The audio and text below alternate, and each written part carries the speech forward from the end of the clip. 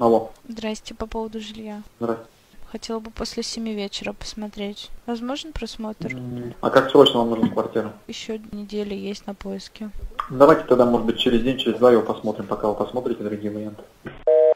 Здрасте, по поводу жилья. Ага. Хотела бы после семи вечера сегодня посмотреть. Так, сегодня, наверное, не получится. А вы кто? Кто собираетесь? Я собираюсь снимать. Вы одна? Да. Я думаю, что вам квартира это не подойдет, потому что там много надо убирать. А кому она порядок. подойдет тогда, эта Ну, квартира? подойдет семье, где мужчина, у кого руки откуда-то растут оттуда, чтобы был мужик, который мог бы там что-то это самое. Вы девушка хрупкая, или как там, вам это не подать. Моя бы дочь, как я говорю, этим бы не занималась. Вы меня понимаете? отговорили. Хорошо, Ну, вот так спасибо. вот, пожалуйста. Алло, здравствуйте, по поводу квартиры. Ага, слушаю. Можно ее сегодня после семи вечера посмотреть? Смотрите, я с вами не еду квартиру смотреть. Сейчас запретили брать агентам деньги в руки, только перевод на счет компании в бухгалтерию.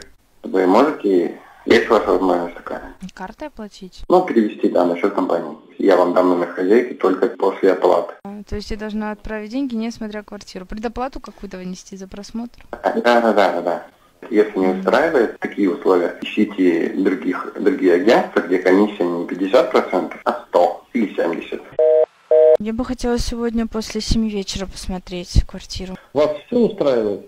Расскажите, что меня может не устраивать. Почитайте. Если все устроит, все подойдет по цене, по Ну, состоянию, можете перезвоните, рассказать, и ну, мы с получается, вами... нету там стиральной машинки, холодильника, чего еще нету? Давайте сами, пожалуйста. Хотела бы посмотреть сегодня после семи вечера. Она ровно такая, как на фотографиях. Ничего нового вы там не увидите. А посмотреть ее нельзя? А смысл? Можно сегодня посмотреть ее вечером после семи? Нет, сегодня нет, я на даче, девушка. ¡Hágase una